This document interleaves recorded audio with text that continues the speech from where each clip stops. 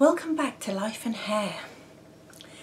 I posted my Ray Rene of Paris wig review not too long ago and I do plan to complete um, an update for that because I think that really my first impression was very much based on the dealing with lots of different elements that were new to me. The kitten. It's the kitten! She can't leave anything alone. Seven months old and I'm still having to basically bring up a toddler. It was very much a first impressions wig and it was really for people who found that they had just ordered a very different style to what they were used to and um, I was trying to convey all the contradictory um, emotions and opinions that one might experience going from always having long hair or bobbed hair or curly hair um, to having something that really was starting to be described as a short wig. And I describe it as a short wig. It is short at the back. All of this has got to be put up really, really well um, so that it doesn't start to have straggly bits coming out of the bottom of it, which is a dead giveaway if you're wearing a wig. Uh, but I, I actually really like it. Now, not too long ago, I knitted a jumper.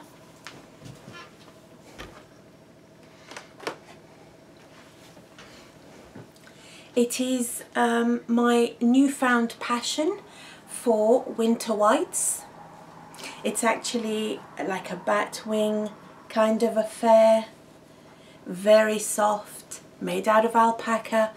And believe me, when I put that Ray wig on with the marshmallow coloured ends, and maybe some diamante earrings and a very glossy sparkly lip gloss it looks utterly divine so I plan to do an update on that wig to get a little bit of hairspray in it get it to how I want it to be and ladies this is something that you must appreciate is that when you get that wig out of the box it's just a generic piece of hair it could belong to anybody and it's the process of becoming comfortable with it and getting it to belong to you. That's what we'd like. So I have received another wig in the post. It's another Paula Young. It's Ashlee and it's in the colour, now can I remember the colour? Well of course it's got a whole load of numbers but it's rooted, it's a rooted red which I'm going to have to put on the screen because I cannot remember. So this is my first impression with this wig. Getting everything off. Isn't this the loveliest, the cats, I'm so sorry. Isn't this the loveliest thing? You know, when you get a new colour I mean, when I was in my very early 20s, I think around 23, I dyed my hair red. Actually, I went to Harrods and had it dyed there. And I said to them, I want a Susan Sarandon red. And they dyed my hair the same colour as Susan Sarandon's. But that was the last time I was a redhead. And these, these reds the stranded reds with the darker root. And bear in mind, this root is really quite dark. It's a fascinating colour and I can't wait to get it on. I haven't tried it on at all. Let me take these tags off. I'm very excited because I'm one of these people that loves to match my hair to my clothing. I kind of put on this red dress because I thought it would it would go with this colouring best. Well, let's get that zigzag out of the front and start to make this wig come to life somewhat. Do you know, I really love the Ashlee wig. I've actually got it in another colour. I think the colour is Rooted Honey. And I love the texture of the fibre here. I can see straight away that the root is very dark, much darker than what I've been used to. There's a bit of permatease there at the top, so let's wake this girl up a little.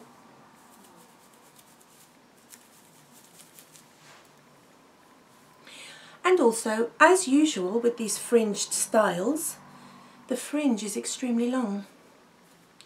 So I am going to actually trim it. You know, with trimming, you have to sort of locate the actual fringe. So there's some top hair here that you need to get out of the way to isolate the fringe. The actual fringe rather than the side fringe. It's not a precise science because let's face it, I'm not a hairdresser. I'm nowhere near trained as a hairdresser. But even, yeah, so it's kind of feathered. It's kind of feathered, so I'm just going to go for it. That's the best thing to do sometimes, is to just go for it.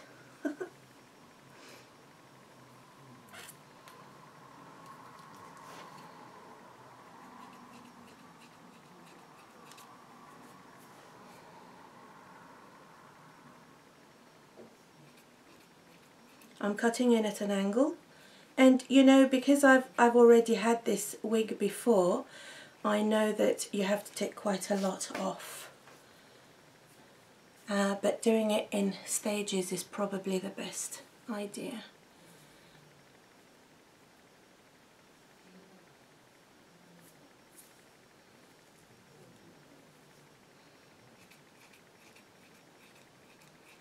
I'm probably taking off about half a centimetre coming up to at a time. Let's see. Mm, I think maybe a little bit more actually. It makes all the difference to looking like an English sheepdog um, or actually looking like a human being. I hate to say this, but I'm going to take off a bit more.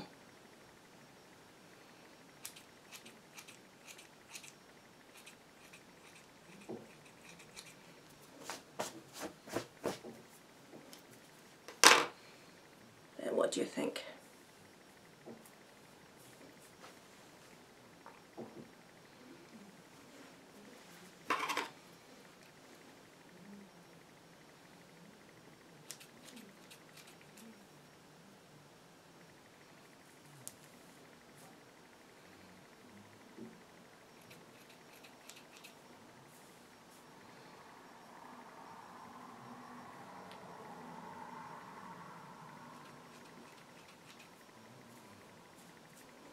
That's better. God help you if you get a little bit of the, these uh, fibres in your eyes. That could be a big problem. Okay, so I already know from previous dealings with this particular wig that this is a heat resistant fibre so it can be styled, you can straighten it, you can put curls in it, it comes with a beautiful, really nice kind of movement. It's, it's, it's shorter on the top than it is sort of as you go down and that creates a nice movement here and gives you some fullness in the style.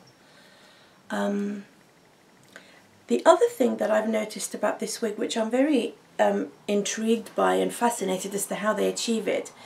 But the, the, the, the curve of the hair at the back doesn't flip out and it doesn't fall straight. It's a really nice one. It kind of continues to curve and hold its shape and give this style body. I, I like to uh, rough this style up a little, but actually in my experience it doesn't keep its um, its height very well because actually it doesn't have that much permatease, although I can feel some. Um, so I don't expect it to keep to keep its bushy style very much.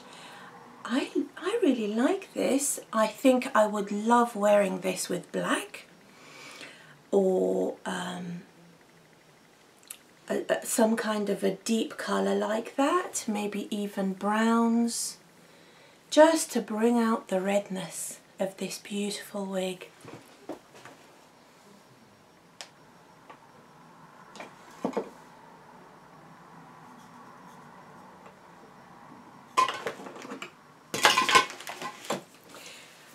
I have a couple of uh, products here. The first is this Jon Renau contour cream. Let's just see what I can do with this.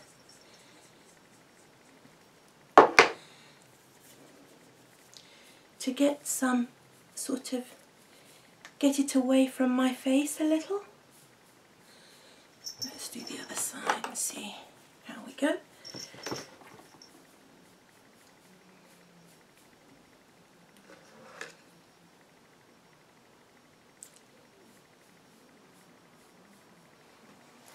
Also have some of this Fix and Finish fixing spray for wigs.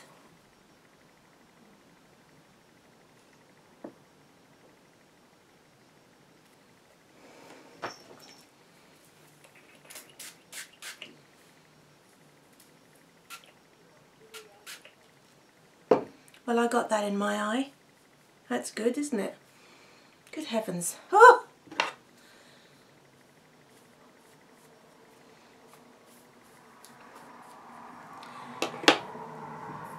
um, gives it more body, gives it more movement, and it really makes it look like you have gone and styled your own hair and put a little bit of mousse, a little bit of hairspray in it. And I really like that.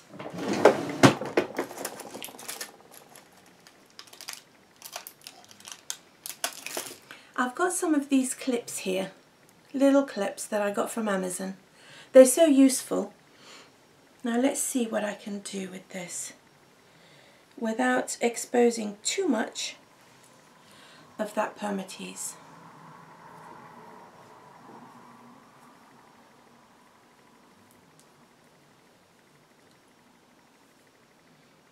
And this is the bit where I will get some of my hair out.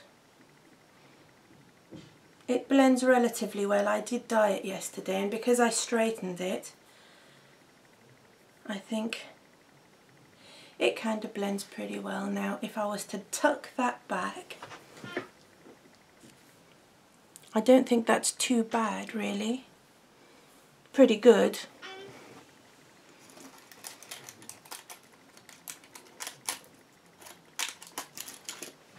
Let's see what I can do on the other side.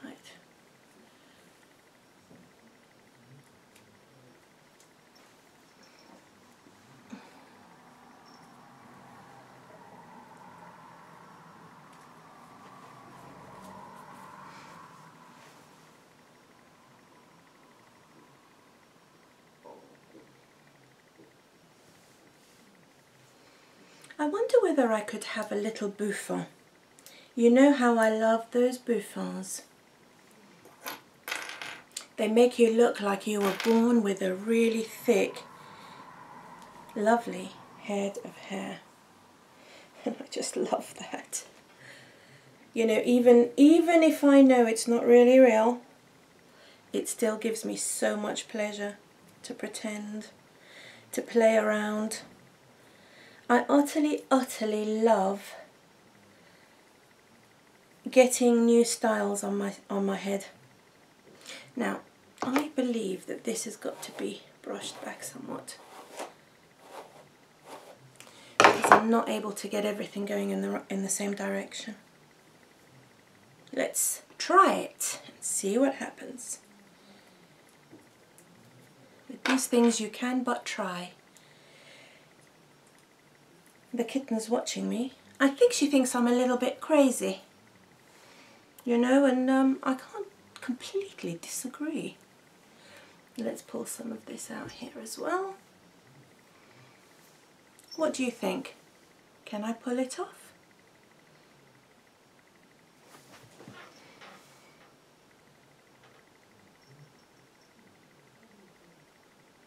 I think that in a style like this, with a wig like this, that is rooted but it's not um, monofilament at the top, I think really going to a lovely restaurant in the evening or a nice candlelit nook somewhere would be perfect really for this.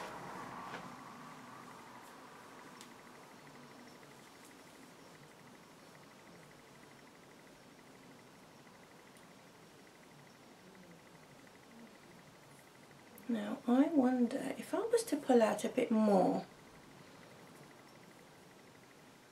of all the stuff that I have straightened.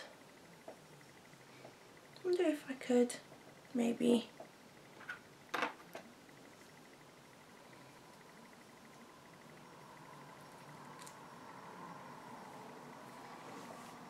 What do you think?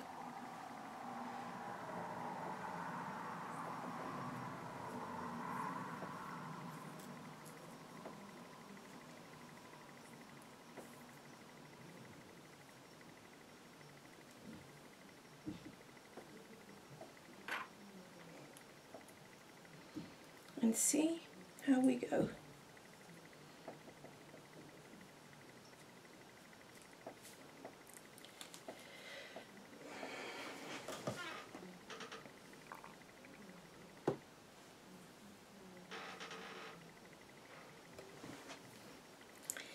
I mean, you know, I just think it's lovely.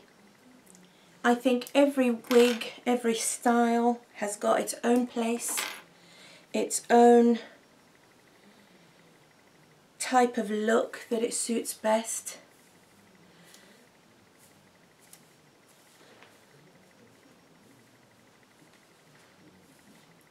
You know, I, I actually quite like making my own clothes and I, I've been dressmaking for myself primarily for many years. I find it a very exciting prospect to to think, okay, let's look at a, a style like this now. What would this really suit? Um, I've, I've got a lovely long,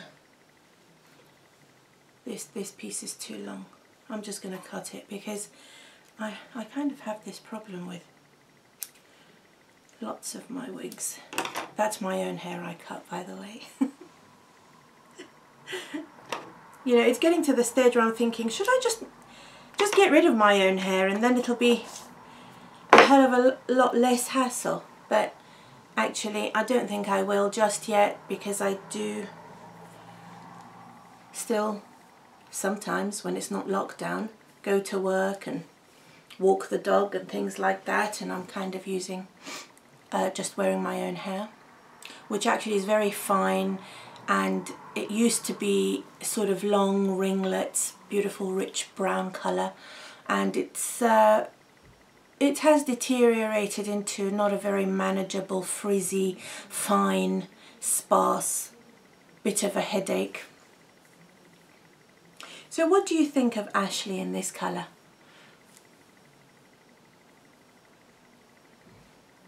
I'll do a review of Ashlee in the other colour that I've got which I believe currently is um, honey rooted.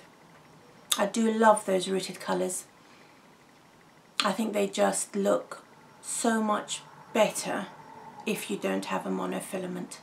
But as you know, I wear my Giselle and I, I wore it last night actually. I wear it up in a bouffant, updo at the back, my own sort of hair round and incorporated into it and you can see the monofilament here it just looks so real so if you don't have that this is a very close second a nice rooted color hope you like this and I'll see you soon.